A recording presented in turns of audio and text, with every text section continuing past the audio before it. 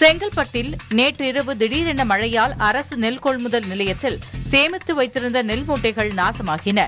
செங்கல்பட்டு மாவட்டத்தில் 45 இடங்களில் அரசு நேரடி கொள்முதல் நிலையங்கள் செயல்பட்டு வருகிறது. கொள்முதல் செய்வதற்காக நெல் மூட்டைகளுடன் விவசாயிகள் காத்திருக்கும் நிலையில் கொள்முதல் செய்யப்பட்ட நெல் மூட்டைகளும் கொள்முதல் நிலையத்தில் வைக்கப்பட்டுள்ளன.